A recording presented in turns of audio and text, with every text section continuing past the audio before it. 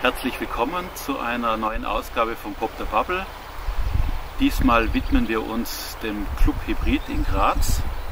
Äh, Club Hybrid ist ein, eine Veranstaltung, die sich in den Sommermonaten in Graz äh, manifestiert und zwar exakt vom, vom 11. Juni bis 15. August 2021. Äh, das Ziel des Club Hybrids ist in Speckgürtel in der Peripherie von Graz Themen der Architektur zu diskutieren, auf theoretischer, auf wissenschaftlicher Ebene, aber auch im Sinne der Vermittlung. Äh, die Initiatoren dieses Projekts sind äh, Heidi Bretterhofer und Michael Rierper.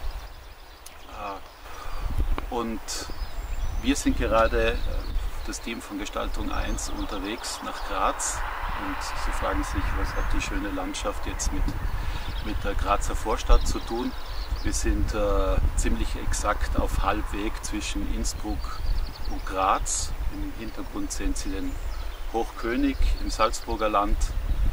Ja, und wir packen jetzt unser Equipment wieder zusammen und begeben uns weiter auf die Fahrt zum Club Hybrid in Graz. Graz angekommen, wo sich der Club Hybrid angesiedelt hat. Mir gegenüber sitzen die beiden Initiatoren des Projektes, die Heidi Bretterhofer und der Michael Rieper. Hallo, willkommen im Pop the Bubble. Willkommen im Club Hybrid. okay. Freut uns, dass ihr da seid. Ja. Ich, ich, kann nicht steirisch, also ich kann das nicht. Ich kann leicht Südtirolerisch, aber. Äh, ah, du bist ein Südtiroler? Ich bin eigentlich so. ein Südtiroler, okay, ja. Okay, ich bin ja ein Südtiroler. Na, bitte. Ja, nachher dann läuft es. Also, dann läuft es sicher rund. Ja, äh, ich möchte euch eigentlich fragen, wie, wie kam es zu der Initiative Club Hybrid? Ja, das ganze ähm, Unterfangen hat 2019 angefangen.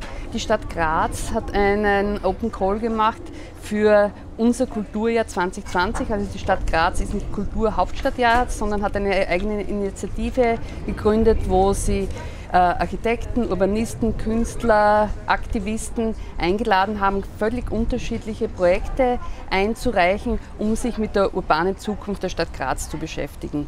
Es hat ca. 600 Einreichungen gegeben und rund 90 Projekte wurden ausgewählt, total in unterschiedlichen Größen. Und wir waren bei den Glücklichen dabei und haben den Club Hybrid quasi eingereicht. Bei der Einreichung hat das ganze Ding noch geheißen, das ist ein öffentliches Bedürfnis. Und von dort an äh, haben wir uns dann in erster Linie mal auf Grundstückssuche begeben, wo könnte dieser Club Hybrid, ein offener Demonstrativbau, äh, einen Platz finden, um äh, einen wirklich urbanen Ort, ein Stadtobjekt in die Wege zu leiten. Und das öffentliche Bedürfnis spielt natürlich auch mit den öffentlichen Bedürfnisanstalten mit, weil auch für öffentliche Notwendigkeiten Bedürfnisse muss man ja mittlerweile häufig bezahlen. Und viel dreht sich bei uns darum, zu sagen, ja, das ist ein öffentlicher Grund, der gehört der Stadt Graz, der soll weiterhin öffentlicher, gemeinschaftlicher Besitz bleiben und wir fügen dem eine gemeinschaftliche Nutzung hinzu. Und der Club Hybrid äh, ist ein gemischtes Ding, das jetzt dasteht äh, und schaut, was kann man an Nachbarschaften aktivieren, was können wir an Fragestellungen zur Stadtplanung, zur Stadtentwicklung hier im Süden von Graz an der Grenze des Bezirks Buntigam, der Nicht-Grazern über das Bier, Buntigamer Bier vielleicht bekannt ist und Gries ist als Bezirk quasi unbekannt. Mhm. Es sind zwei Bezirke der Stadt, die in den letzten Jahren eher stiefmütterchenhaft behandelt wurden, eigentlich nicht nur in den letzten Jahren, sondern seit eh und je, weil es die ja, Arbeiterbezirke vielleicht der Stadt sind. Jetzt Gegenden mit einem hohen Migrationsanteil. Und auch ganz speziell in Buntigam und in Gries wirklich das, die Versorgungsbezirke sind. Also es gibt wirklich sehr viel gewerbliche Nutzung, quasi vom Kraftwerk angefangen bis Recyclinghof, Zentralfriedhof, also quasi alles, was die Stadt an Infrastruktur zur Verfügung stellen muss, was entsorgt werden muss, ist eigentlich hier in der Nachbarschaft. Und das haben, hat uns natürlich besonders interessiert, weil äh, wir nicht in eine, gar nicht innerstädtisch sein wollten und auch nicht in einer total reinen Wohngegend, weil wie wir ja wissen, ist Wohnen ein extremes äh, Verteuerungsmittel mittlerweile und eben diese Gewerbezone, Infrastruktur ist unserer Meinung nach genau der richtige äh, Ort, um um über hybride Nutzungen nachzudenken und auch wie zukünftig eine produktive Stadt funktionieren oder sich etablieren könnte. Ihr bezeichnet den Bezirk auf eurer Webseite als urbane Nebelzone. Was das versteht ihr da genau drunter? Die urbane Nebelzone kommt aus einer historisch gegenwärtigen Betrachtung der Stadt, dass es da eigentlich im Winter häufig neblig ist. Aha. Im Gegenzug dazu ist es im Norden, wo die Stadt etwas höher ist, nicht neblig. Da kann es sein, dass im Norden die Sonne scheint und im Süden äh, ist die Sichtweite unter 100 Meter. Und die Nebelzone hat noch einen zweiten Hintergrund, weil es ist auch eine Gestankzone ab und zu, weil natürlich äh, Müllentsorgung äh, und ein Schlachthof sich hier in unmittelbarer Nähe befinden und somit stinkt es ab und zu einfach. Äh, und wir sind aber der Meinung, dass diese Geruchsbelästigung äh, übers Jahr verteilt verkraftbar ist. Und auf der anderen Seite ist natürlich die Mur, der Grazer Fluss, der von Norden nach Süden die Stadt durchquert, wo jetzt ein Laufkraftwerk errichtet wurde und dieser südliche Teil, der quasi parallel zu uns sich hinter uns befindet, einer massiven städtischen Aufwertung jetzt unterworfen ist, weil der Fluss um 8 Meter höher ist und jetzt, so wie die Donauinsel in Wien äh, oder ich weiß nicht, wie das in Innsbruck äh, mit dem Inn ist, ein städtischer Lebensraum wurde.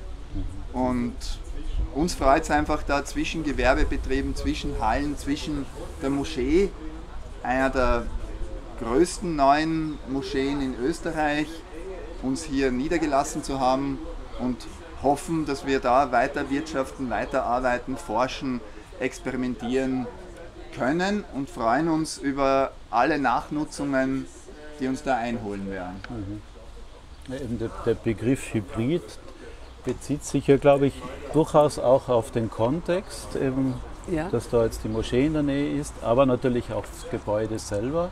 Vielleicht beschreibt ja. aber ganz kurz vielleicht das Funktionsprogramm von dem Gebäude, weil das ja also, vielleicht doch irgendwo auch mhm ungewöhnlich das, ist, sage ich in einem gewissen Sinn, dass man quasi da das Funktionsprogramm eigentlich ist ein Anliegen, das wirklich nutzungsoffen zu halten, um verschiedene Funktionen drinnen zu haben. So wie auf der urbanistischen Ebene sind, finden wir auf der architektonischen Ebene es eigentlich wichtig, sich von der Moderne auch ein Stück weit zu verabschieden, quasi diese klare Funktionstrennung und äh, quasi, dass man das Leben einfach wesentlich äh, durchmischter geworden ist. Wohnen und Arbeiten ist unserer Meinung nach quasi passiert hinter den gleichen Türen, aber sollte auch im öffentlichen Raum stattfinden.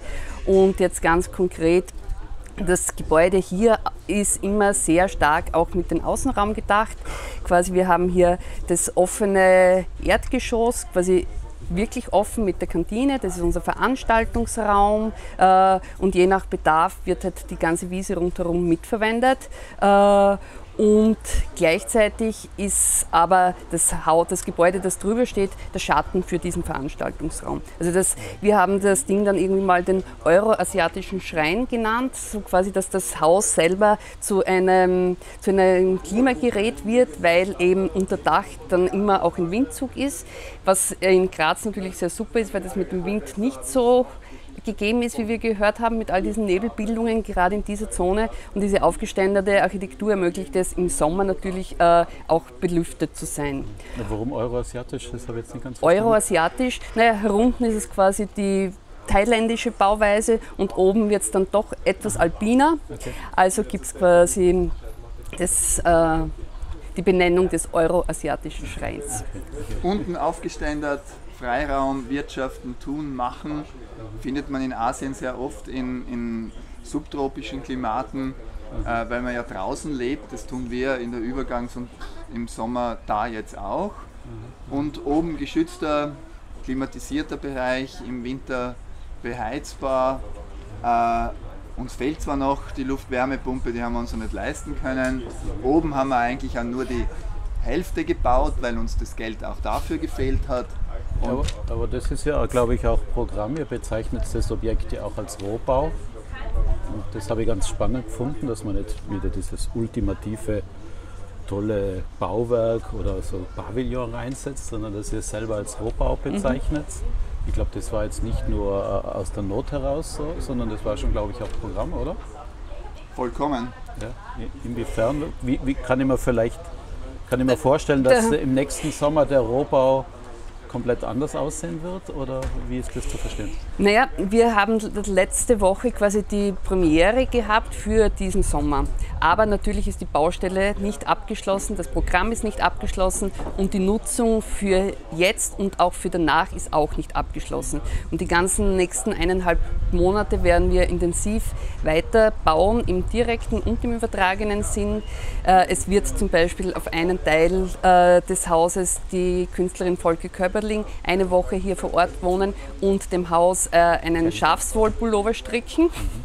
Und quasi es gibt einfach die Möglichkeit, an allen Ecken und Enden weiter zu bauen. Aber es geht eben keineswegs nur um das Gebäude, sondern auch um das Programm. Und wir sehen dieses ganze Projekt als äh, Initiative als Starter für eine mögliche urbane Nutzung und wollen eben sehr intensiv daran arbeiten, dass Interessenten aus der Nachbarschaft, aber auch aus der weiteren Nachbarschaft quasi als Verein oder Genossenschaft sich formieren und dieses Objekt und auch diese Idee weiter, weiter betreiben.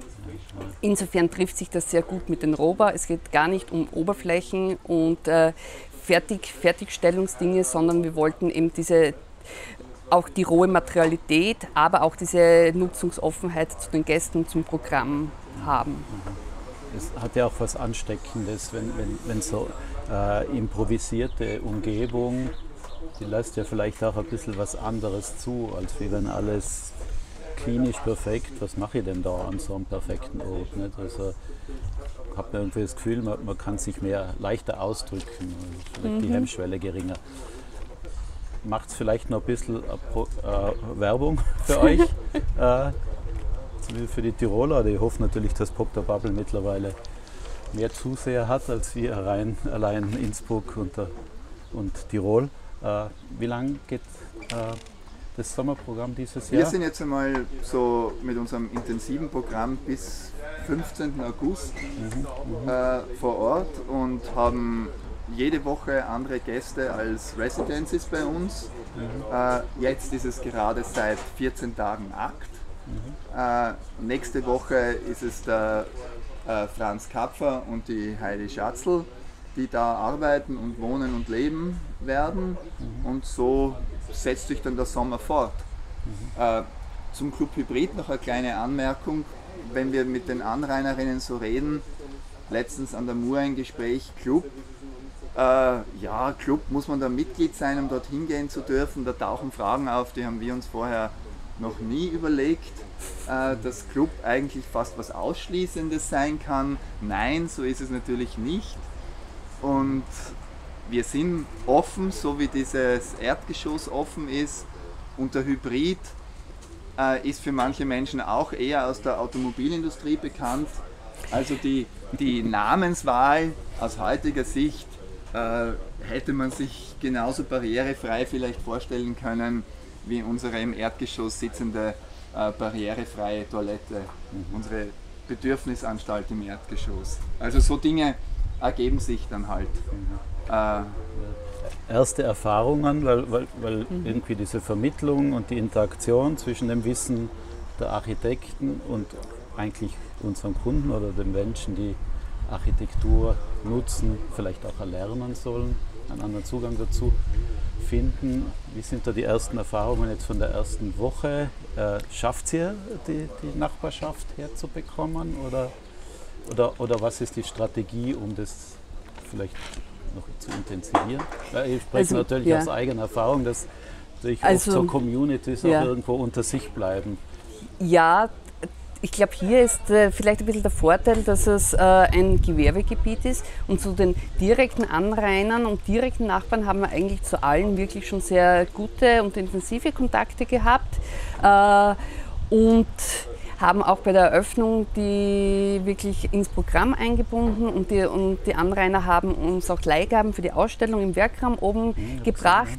Heute in der Früh ist der benachbarte Baumarkt rübergekommen und hat uns die Sonnendecks äh, mit dem Hufstapler hin und her geführt und die Moschee auf der anderen Seite wird sich auch im Werkraum oben für Unterricht ein, ein, einmieten, gratis einmieten. Der Spielplatz, glaube ich, da hinten ist ja auch irgendwie Teil. Der Spielplatz ist, ist Club Hybrid quasi, wenn du ja. das meinst. Ja, ja, die aber Wiese. ist ja letztendlich ja. ist auch was für Kinder, oder? Ja, ja. Ja, natürlich. Mhm. Heute hatten wir schon, äh, ja, und natürlich am Abend, nachdem es jetzt nirgends Public Viewing gibt, kommen auch die Leute vom Baumarkt und tun hier dann Fuß, mhm. äh, EM schauen. Also es funktioniert schon natürlich. Äh, werden uns noch mehr Gäste noch lieber und wir wollen ja nicht nur die unmittelbaren Nachbarn, sondern eben auch quasi Grazer aus, aus dem ganzen Gebiet und natürlich auch sehr gern alle Interessierten aus Innsbruck. Mhm. Vielleicht abschließend noch, noch einmal, weil, weil es ja es gibt ja verschiedene Stoßrichtungen vielleicht, in die wir Architekten irgendwo vordringen wollen. Wollen wir einfach für, für unsere Disziplin, für unser Milieu mehr, mehr Sensibilität gewinnen oder das andere ist natürlich die Baukultur im Zusammenhang mit sozialen, ökologischen Problemen. Steht beides im, im Fokus oder ist eher das Zweitere letzten Endes, äh, dass die, die Baukultur sich in Österreich Schritt für Schritt doch verbessert? Schwierige Frage. Also unser Fokus ist eher auf Mainz, Deins einmal gerichtet so wem gehört was und wer darf was wie nutzen. Und das Grundstück da, das der Stadt gehört, hatte halt die herausragende Funktion, dass es keinen Zaun rundherum hat. Mhm. Und die Menschen laufen durch. Auf, ja. mhm. und der Bauzaun hat extrem gestört während der intensiven Bauzeit. Mhm. Und dass es dahinter auch ein baukulturelles Bewusstsein geben soll, versteht sich eigentlich von selbst. Und selten haben wir als, als Planerinnen und Planer die Möglichkeit, für alles Initiatoren und Initiatorinnen zu sein, weil irgendwie wollen wir überall ein bisschen andocken und die Menschen hereinziehen und mitwirken lassen äh, und darüber natürlich auch ein bisschen bestimmen, was in welche Richtung es geht. Das heißt, das Nicht-Kommerzielle liegt uns irgendwie schon sehr am Herzen. Ähm, aber auch wissend, dass wenn das länger da sein soll, dann muss es irgendeine Form der, der wirtschaftlichen äh, Basis geben. Das heißt, Betriebskosten müssen gesichert werden. Äh, das heißt, es ist auch ein volkswirtschaftliches Experiment. Mhm. Und diese extremen, vielen Zusammenhänge sind uns eine Leidenschaft und hoffentlich den anderen auch. Mhm.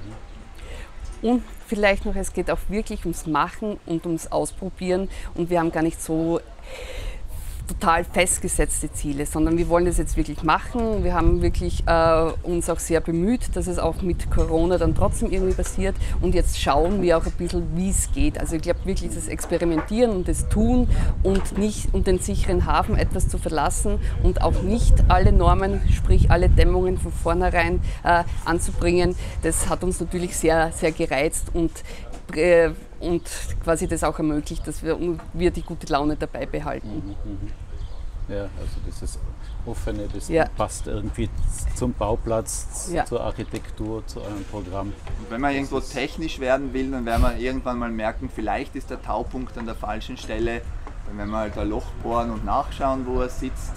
Äh, also auch das Experiment ist auf der einen Seite ein gesellschaftlich-soziales und auf der anderen Seite auch ein technisches. Mhm. Äh, der ganze Stahl. Pfusch am Bau einladen. Ja, gern. Zum Beispiel. Gern. Der ganze Stahl ist, ist nicht äh, veredelt, er wird rosten, aber er wird mhm. uns wahrscheinlich überleben. Mhm. obwohl er nicht postgeschützt ist. Ihr habt das zurzeit die Genehmigung fürs ganze Jahr. Äh, das aber, Grundstück aber es das ganze Jahr. Aus, glaube ich. Das ist schon ganz schön, weil wir haben eigentlich eine Baubewilligung, ganz ordentlich, mhm. wie sich's gehört. Mhm. Äh, das Gebäude gehört somit momentan uns. Schauen wir, wer es dann haben will. Das mhm. Grundstück gehört der Stadt mit einem Baurecht, das wir aber jährlich erneuern müssen. Mhm. Ist ja aber durchaus auch etwas, was stark diskutiert im Zusammenhang mit Bodenfrage, Absolut, ja. Bauern auf fremdem Grund. Von dem her durchaus auch etwas, das er wahrscheinlich thematisieren wird, auch mhm. theoretisch, weil genau. ihr, mhm. ihr habt ja das Aktionistische, ihr habt das Wissenschaftliche, ihr habt das Künstlerische im Programm. Dementsprechend bin ich einfach neugierig, wie es weitergeht und, äh, und mal schauen, was dann nächstes Jahr wie es dann da ausschaut. Äh, wir werden jetzt äh, weiter marschieren und, äh, und eure Gäste von dieser Woche interviewen, das Kollektiv Akt und bedanke mich bei euch, Heidi und Michael und wünsche euch viel Glück. Vielen Dank. Ja, vielen Dank fürs Kommen und viel aufregende Begegnungen mit Akts Arbeit.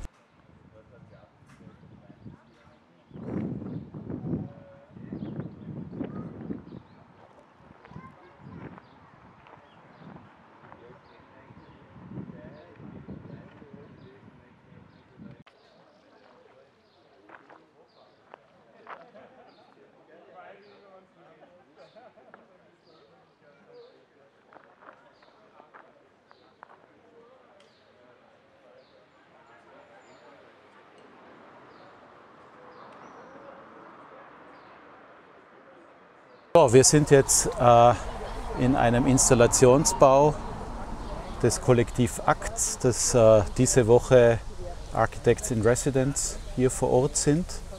Und äh, ich begrüße die Helene und den, den Gerhard und würde gleich mal an euch äh, die Frage stellen, ob ihr ganz kurz was über, über euer Kollektiv berichten könnt. Wer seid ihr? Was, was wollt ihr? Was macht ihr?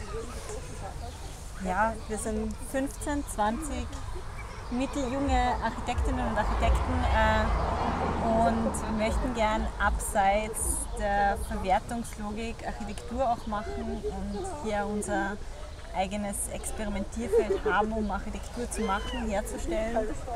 Ja, Gary, vielleicht möchtest du da noch ich glaube, es, ist uns vor allem zu Beginn bei der Gründung darum gegangen, so etwas wie eine, eine eigene Diskussionsplattform zu schaffen.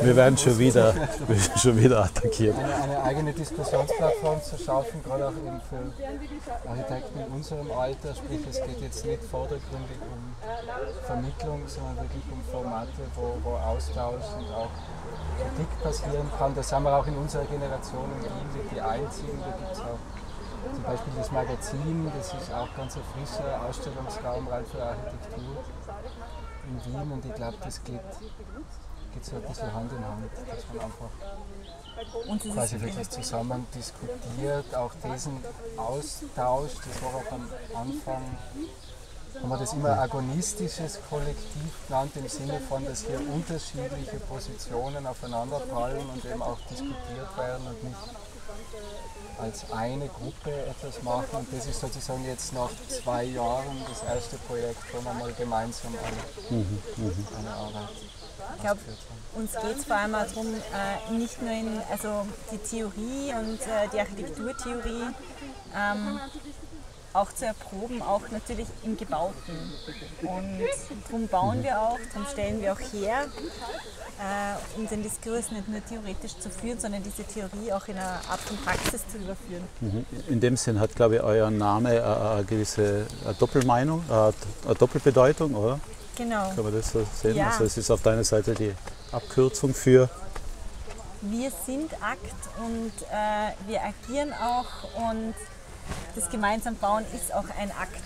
Genau, das ist die Abkürzung für Verein, also für Architektur, Kultur und Theorie, weil eben auch wir, wir immer diese Arbeiten, die wir machen, auch als, als eine Art gebauter Gedanken. Und einen Gedanken, den wir zur Architektur, den wir formulieren wollen und dann aber als gebauten Raum zur Diskussion stehen. Ja, und wir sind eigentlich in einem eurer Akte auch. Also das nennt sich auch Akt 4. Das ist in dem Sinn eure vierte räumliche Intervention, sage ich jetzt einmal. Ja, und jetzt wären wir natürlich neugierig, dass er uns ein bisschen darüber aufgeklärt, was, was die Intention von, dem, von der Installation ist. Also wir befinden uns ja jetzt bei Akt 4 und Akt 4 heißt auch Akt 4 Gast. Das hat den Hintergrund, dass wir vom Club Hybrid äh, auf Residency eingeladen wurden und hier auch zu Gast sind, gleichzeitig hier eine Architektur hinstellen, auch gleichzeitig Gast zum Gastgeber werden oder zur Gastgeberin.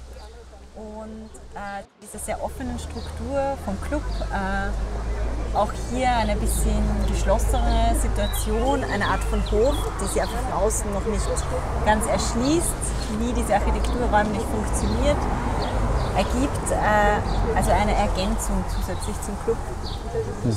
Also es, es geht im Grunde genommen darum, den, diesen sehr stark programmierten Raum oder diesem, diesem sehr stark programmierten Gebäude des Club Hybrid sozusagen ein, ein Gegenstück entgegenzustellen, ein, ein völlig unprogrammiertes Gebäude, das aber trotzdem mit architektonischen Mitteln im Zusammenspiel und auch mit der Topografie einen Ort gegenüber schafft und sozusagen gleichzeitig ein Spannungsfeld auf dem Grundstück zeigt, dass der nicht so, dass der Club nicht so in der Ecke sitzt, ohne, ohne ein, ein vis zu haben. Dementsprechend ist Ausgang, der Ausgang der ganzen Installation eigentlich auch, wie man das sieht, der Ausflug der angefallen ist, wobei man jetzt noch einen Bruchteil davon sieht. Wir stehen eigentlich auf einem 1,20 Meter hohen Plateau aus Asphaltplatten, Erde, Betonbrocken, die im Zuge der Errichtung von Club Hybrid da angeschüttet worden sind. Und da drumherum haben wir dann, um diesen Ort hervortreten zu lassen, eigentlich mit ganz simplen, banalen architektonischen Mitteln der, der Erhöhung, der Umgrenzung, der Erschließung, gleichzeitig nochmal der Abschottung eines, eines eigenen Bereichs versucht, diesen Ort zu kriegen. Und, und dementsprechend gibt es auch noch, noch Umgänge um, um diesen, diesen inneren Raum, in dem wir uns jetzt gerade befinden und eben auch immer diese Abgänge runter aufs Grundstück, wie gesagt, eigentlich erhöht sind. Und das ist dann quasi so ein, so ein unprogrammierter Versammlungsraum, der aber natürlich sehr wohl seine, seine Kniffe hat, weil es uns eigentlich bei, bei vielen unserer Arbeiten immer darum geht, um die Frage, was tut Architektur, wenn sie als gebautes Ding zwischen Menschen gestellt wird, wie verändert sie deren Beziehung zueinander. Und deswegen gibt es auch da jetzt diesen, diesen Hügel im Raum, auch wenn das jetzt vermeintlich natürlich ist. Natürlich ist er künstlich aufgeschüttet, der, der weiß nicht, ob man das mal demonstriert, der natürlich auch das Verhältnis der Menschen im Raum zueinander, sobald man sich aufstellt, völlig verändert. Quasi eine Art Versammlungssituation schafft, die zwangsläufig immer in irgendeiner Art und Weise hierarchisch ist und dadurch immer ausverhandelt werden muss. Wer stellt sich rauf, wer muss wieder runter und so weiter. Mhm. Also es ist also eine leichte Irritation dieses Versammlungsraums. das habe ich nicht gedacht. Ja, ich glaube, das, was ja hier noch, was wir hier jetzt gerade nicht sehen, aber wir haben ja auch äh, ein Loch in den Zaun geschnitten, äh, ganz unaufgeregt, aber man hat hier eigentlich auch die Möglichkeit, über die Straße reinzukommen, dann direkt auf den Club zuzugehen oder auch noch die Möglichkeit hier abzubiegen mhm. und in diese Architektur sich einmal mhm. zu begeben. Ja, hier gibt es einfach immer so räumliche Situationen mit diesem S-Found, wo wir natürlich auf den Grund hier reagieren, äh, mit denen wir einfach auch gearbeitet haben. Mhm. Und die Gambionen, was, kannst du da noch was dazu sagen?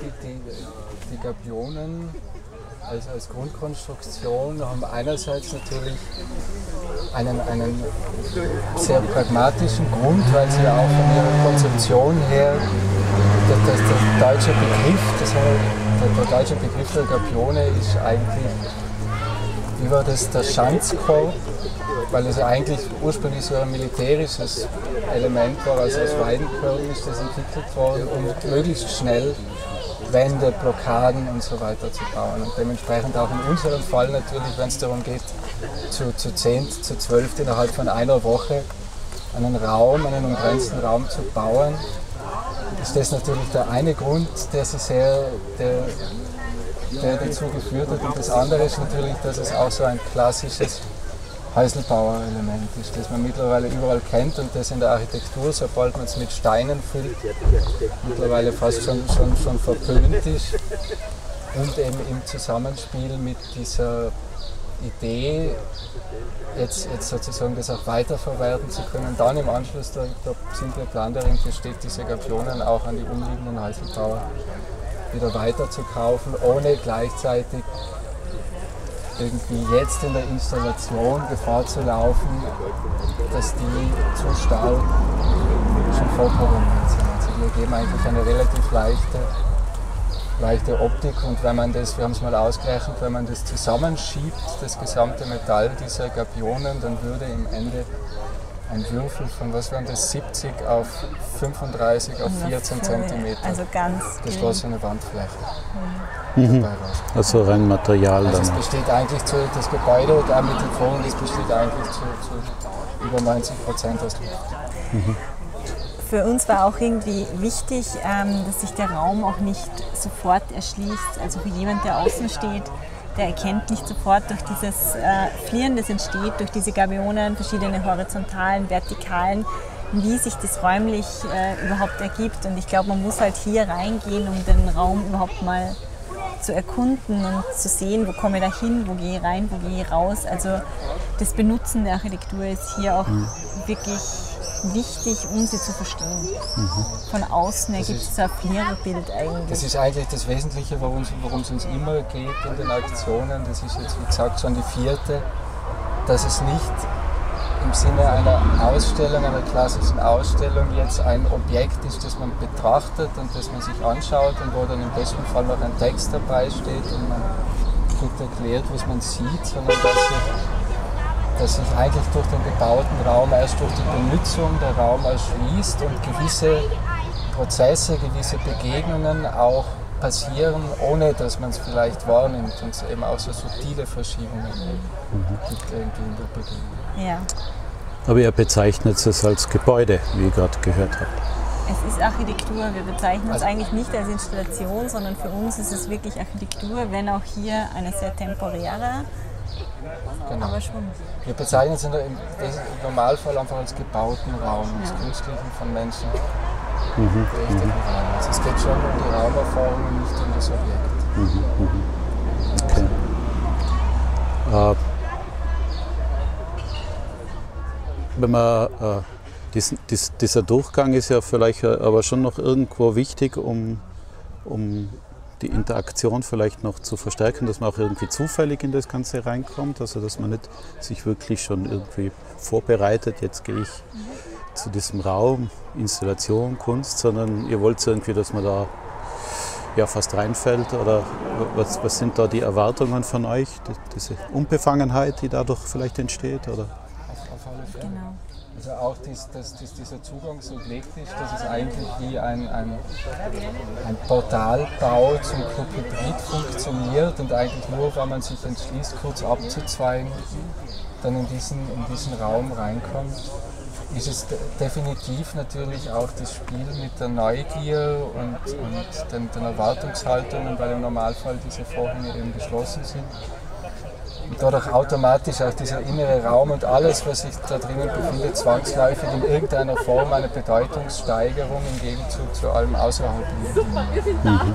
Und da tut sich dann natürlich auch ein Erwartungsspielraum auf, weil, weil viele Leute werden reingehen und wenn draußen sind sie ein Hügel, dann gehen sie rein und sagen, hm, wieder ein Hügel. Aber genau, genau in diese Verschiebung geht es ja auch. Also was, was tut das alles drumherum mit diesem Ort und mit diesem... Mhm. Ich meine, er wird dadurch natürlich auch schwer benutzbar, obwohl er ja dann, obwohl der Hügel ja irgendwie auch Programm ist, indem er für Hierarchien sorgt und was ja teilweise Räume oder eben vielleicht auch für, wie soll ich sagen, öffentliche Räume mitunter auch als Funktion oft vorsehen. Wer steht vorne, wer steht am, wer, auf wen blicken alle, wie, wie ist das fokussiert, so im Sinne von von äh, auch so ein Panoptikum, äh, eigentlich mit ganz einfachen Mitteln. Nicht? Und, und was ich ganz interessant eben finde, ist diese, diese, dieses Aufeinandertreffen von dem ganz zarten des Vorhangs mit dem sehr technischen, in Kombination auch mit der Neonbeleuchtung und dann letzten Endes ja, nicht unbedingt Natur, weil es ja dann doch irgendwie platt getreten ist und dadurch hat es irgendwie hat es trotzdem was von einem gewissen Bodenbelag. Ich weiß nicht, wie ihr das selber wahrnehmt, dass die Steine dann wirklich so ein bisschen eingearbeitet sind, wie, wie fast irgendwie so wie bei einem Terrazzo oder so, aber natürlich meilenweit auf der anderen Seite entfernt davon. Äh, es, es ist ja auch das, im Zusammenhang wieso der Aushub, es ist ja auch quasi so die Umkehrung des Umgangs mit dem eigentlichen Abfallprodukt des Clubhybrids. Weil dieser Aushub in Wahrheit ist das der Abfall, der wird weg, wird im Normalfall weggeschickt und auf eine Deponie geführt. Und da ist genau das Gegenteil, er wird eigentlich zum zentralen Stück eines, eines neuen Raums. Mhm. Und gleichzeitig, sobald man auf diesen Hügel drauf tritt, äh, hat man ja dann auch den Blick über den Vorhang drüber. Ich weiß nicht, mhm. ob du es jetzt schon ausprobiert hast, um eigentlich wieder so diese Verbindung auch zum Club zu schaffen. Okay, okay. Also es mhm. ging auch schon darum, äh, wo begebe ich mich hin, gehe ich außen rum, gehe ich hoch und dann sofort wieder einen anderen Blick eigentlich aus diesem Raum raus mhm. zu ermöglichen. Und es ist natürlich, wie du sagst, es geht natürlich schon auch um dieses Aufeinandertreffen von wir mal, Präzision. Also es war so, die Arbeiten waren eine Woche lang Hälfte, Hälfte, drei Tage lang wirklich nur Erdarbeit, Rofen, Schaufeln und Baggern und allem. Und dann drei Tage plötzlich ganz präzises Rödeln, Zusammenbauen, Schrauben, Nähen und, und das, das spürt man, glaube ich, auch, wenn man da ist, dass diese beiden völlig unterschiedlichen, sich aber trotzdem irgendwie ergänzenden Bauschritte oder Bauphasen. Mhm, mh. Ja, das kommt auf jeden Fall gut rüber. Und natürlich auch, ja, je nachdem, wie man es jetzt interpretiert, äh, das Thema Bodenfrage ist etwas, das uns auch gerade ganz stark beschäftigt, weil es ja eine weitere Absurdität unserer derzeitigen Gesellschaft ist, dass banales Erdreich plötzlich zu, zu Abfall wird. Äh, also dass man plötzlich Erdreich deponieren muss. Das, das muss man ja schon fast schmunzeln, was wir alles imstande sind. Und dass man auch, auch dass es das Erdreich dann als Topografie mehr oder weniger zum Einsatz kommt. Wir im alpinen Raum wissen, dass, dass jede äh, schiefe Fläche wird in, einem, in einer Bauphase tunlichst vermieden, sondern man versucht immer einzuebnen, zu planieren, auf flache Fläche zu machen. Und hier obwohl wir hier ja eigentlich mehr oder weniger schon im Flachland sind, in Graz, wird das eigentlich umgedreht. Nicht? Und, und ja, wer dazu bereit ist, kann da sicher äh, irgendwo zu interessanten Denkprozessen angeregt werden, sage ich mal. Vielen Dank euch zwei. Danke. Schönen Gruß an den Rest der Truppe. Ja. Und jetzt gehen wir Bier trinken.